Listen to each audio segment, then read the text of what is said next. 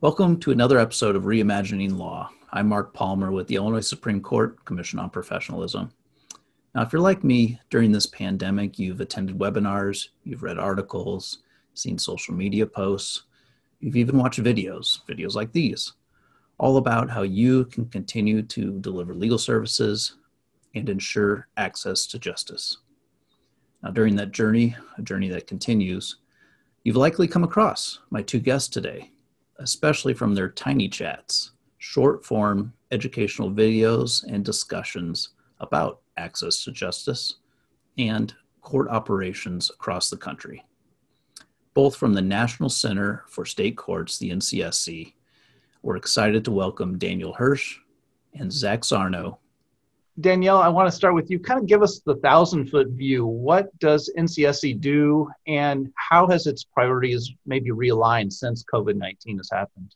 So, the National Center for State Courts um, is a consortium of all the state Supreme Courts and state court administrators from across the country and territories. And we are the secretariat for both of their big bodies. And I think since the pandemic, we've been providing guidance and working with courts on a very various both research and technical projects for years but the pandemic has really opened amazing opportunities for how courts can share but also the need to in real time um, understand what different people are trying. So for in the beginning of april it was trying to figure out what remote platforms to use and how to use them and what is secure and what are best practices. And so just making the space for curated sharing of what's going on.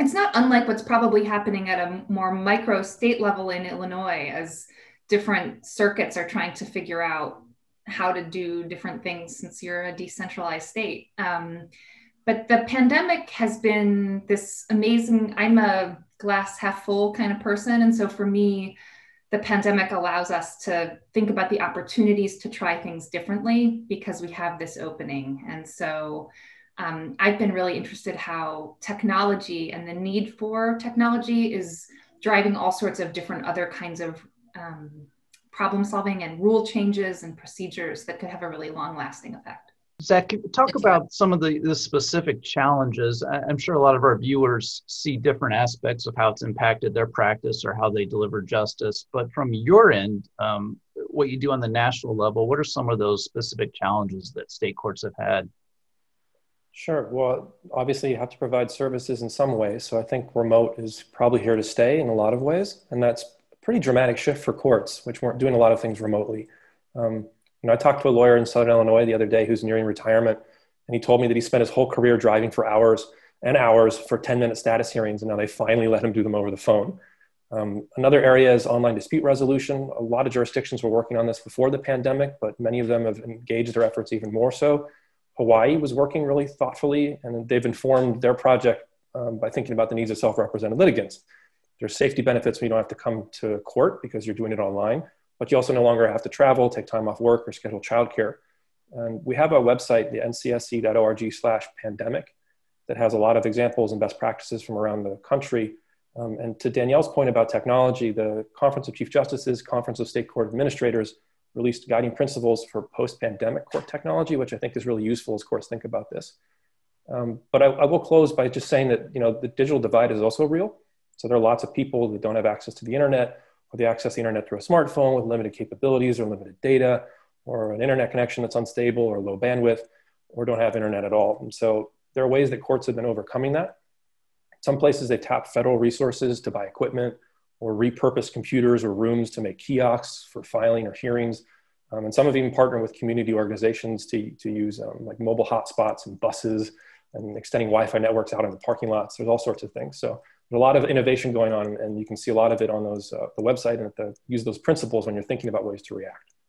Yeah, your mention of both collaboration and innovation makes me think a lot of our viewers are, in fact, solo small firm practitioners across the country, especially in Illinois you know, and a lot of people who watch these videos that we produce and other content, you know, usually they're the leaders in organizations and communities with bar associations locally or state. Um, you know, with with they're usually teaching in the law schools. They're really involved, and they want to know how how can they collaborate better uh, to address these challenges? How can bar associations or other organizations, or even the, the law school um, bottom level up um, entities, better work as a whole, whether it be on a national level or state level, to, to collaborate better and solve these challenges? Well, I'll, start. Um, you know, this is, I think, especially in how court processes have changed, courts are figuring this out in real time on their own and having meaningful feedback loops um, through implementation committees and outreach. I just presented actually at a Hawaii bench bar conference that was about how technology is working and how it's not working. And it was really a chance for the bench and the bar to have conversations very practical about how the various dockets are working, how the waiting rooms are working, how to handle multiple Zoom appearances at the same time. So it was a way to collaborate. And I don't know that every bar association and circuit court or um, the state Supreme Court, if they're engaging in that same level of communication, but if I were a member of a local law school clinic or I was in a bar association, I would try to encourage that level of communication with my chief judge of my circuit court to get and get feedback from the bar too. I mean, um, there has to be kind of compassion and understanding on all sides, and to make the system work not only for the bar and the and the judges, but also for the self-represented litigants who aren't part of those conversations. Um, and so, just important to have regular feedback because if a particular platform is really challenging, let's just say as an example, it um, the court won't know about it unless they hear from people in the bar. Yeah. Zach, anything to add? The feedback is certainly important, and then just collaboration across borders too, whether that be your county border or a state border, and really like learning from the other experiences. Um, I think that's the, one of the roles the National Center for State Courts plays, but it's it's really critical because there's just so much going on. It's hard to keep track of it, and people come up with good ideas, and it works really well in their jurisdiction, and no one else ever sees it, and that's a shame yeah, I really saw that come out in, in, especially learning remote options for courts, even here in Illinois, different courts talking to each other. And a lot of that was facilitated via having webinars and about what you're doing in each county. And every county's different, every state's different. Um, but you got to find out what's going on and, and, why reinvent the wheel if you don't have to sometimes. Um, I know it's a big loaded question, but I want to not miss this opportunity to ask people like you who deal with this as your full-time jobs zach how can how can a court really better adapt to be more responsive to the needs of of the public they serve when it gets down to the courthouse patrons? First thanks for giving me the big loaded question. Um, you know i think courts staff work extremely hard and they're often in underfunded systems. Um, but I, I mean, to be perfectly honest, I have some conversations sometimes with people in the court system at all kinds of roles that can be disheartening. And some of that is because I think they talk about self-represented litigants sometimes like they're a problem to solve or an annoyance. And I think we have known for years now, and it's time that courts really acknowledge that in civil case types, all major case types by volume at a minimum, at least one party is self-represented at least 60 to 70% of the time and in some case types and in some places that's closer to 90%. So I think if you're a court, that is your customer. And many people in the court systems understand this, but there's more that can be done that can improve um, that responsiveness to the needs of the public, as you say, and embrace that fact.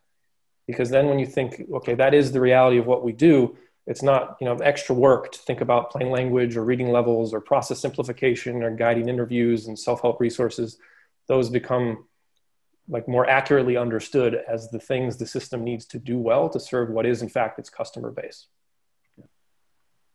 And I would just add one thing, which is I, um, I think the pandemic and the remove to certain remote things opens up a lot of possibilities for renewed partnerships pro bono um, representation from across the state as opposed to being limited to what you could drive to the ability to deploy resources you know people don't have to take off work for every single court hearing. The idea to re-examine court rules it, it just it um, it's a really wonderful moment to seize all sorts of different opportunities and to expand services. Yeah to that point i know, you know free legal answers which was originally an aba effort and you know it's it's kind of been taken over in different formats and different ways by each state. And here in Illinois, it's, it's very active and become a very popular way for attorneys to do pro bono, uh, literally from their, ho- their couch at home. Um, and anytime they can just answer a few questions and, and contribute, um, I hope they continue to do that and it doesn't just become a thing of the pandemic. It becomes a permanent resource to delivering pro bono as one example. I definitely want to get to talking about Tiny Chat videos. You guys have done a remarkable job delivering this to all different uh, topic areas on justice, on court operations. What have been some of the most well received Tiny Chat videos, uh, not to mention all your great props that you guys use? Okay. Um, my favorite one is um, about the principles that Zach referenced, and we rewrote Goodnight Moon to be Goodnight Status Quo, and we got five chief uh, state, Supreme, state Supreme Court justices to read it. Um, that was probably my professional highlight of my life. Yeah. We did one on the difference between legal advice and legal information and put some jokes in there that I wasn't sure we're going to get past NCSC, but they did, and we're still employed. So I'm very proud of that. That's but very... our whole idea for all those are to really embody like schoolhouse rock, like that you can watch one while you're drinking coffee or taking a break from work and learn something. And I think they're as useful for advocates as court staff. So we encourage your dear viewers to check them out. Absolutely. We will happily share that a link to more tiny chats to come, I hope, uh, just like more reimagining law to come.